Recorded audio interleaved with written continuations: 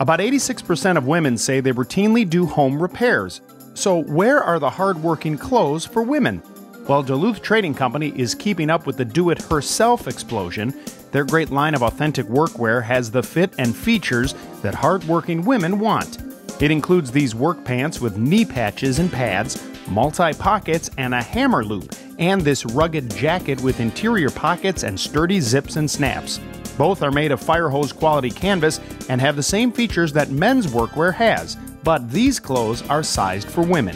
They also have feminine sized tool belts, work gloves, shoes, and other accessories designed to make a woman's work easier. The do it herself line is available online at duluthtrading.com.